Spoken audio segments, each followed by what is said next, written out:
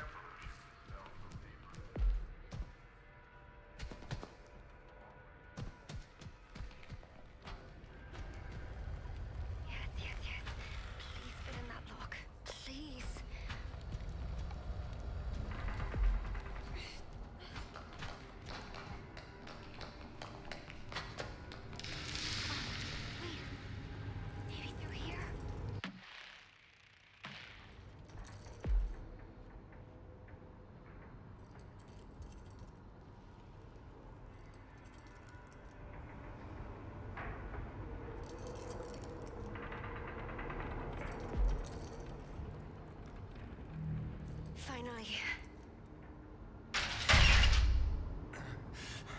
Anna, hey, stay close.